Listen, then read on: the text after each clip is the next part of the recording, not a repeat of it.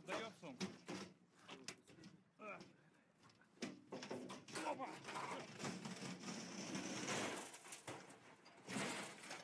Вот. Аппарат с фуриками побежден. Сейчас он будет отправлен на экспертизу.